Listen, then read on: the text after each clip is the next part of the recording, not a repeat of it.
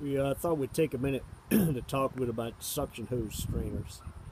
And uh, we're getting ready to do uh, some performance tests on various suction hose strainers, uh, barrels, low levels, floating, uh, some basket strainers. And that's going to happen at the end of September. But uh, we thought we'd give a little sneak preview of our discussion about strainers. So short of the red one in the back, you're basically looking at barrel strainers that'll fit six inch hard sleeve. None of them are the same. We can only suspect that they will each have their own individual flow capability.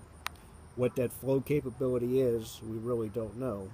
We do know in most all instances, though, that the barrel strainer is one of the top performing strainers uh, when drafting with your pumper.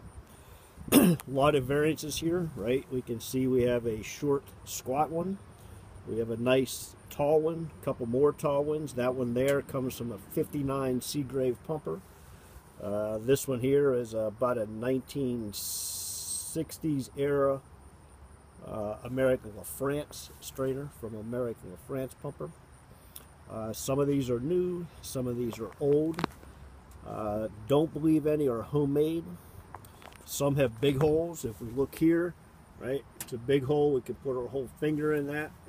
So is this one, big hole, small holes, small holes. So clearly the uh, the holes make a difference. The arrangement of the holes have to make a difference. We know that based upon just how water moves in and out of opening. So all this kind of stuff uh, we'll take a look at when we do our performance testing here in September. Uh, late September, the 30th is the uh, designated date right now. So this is just a, uh, a good overview, right, of looking at strainers. A lot of times people buy a barrel strainer based upon what will fit in a compartment or they buy it from somebody else not having used it in their pump test uh, a general good rule to follow is that the barrel strainer that came with your pumper, right, part of the NFPA minimum uh, equipment stuff, the barrel strainer that came with that pumper from the factory should be able to produce uh, your rated capacity test when you do your acceptance test for your pumper. If it doesn't, then you need to sort out that whole matter, uh, double check the pump certificate, see what was used, uh, in terms of a strainer and suction hose and lift and all that stuff.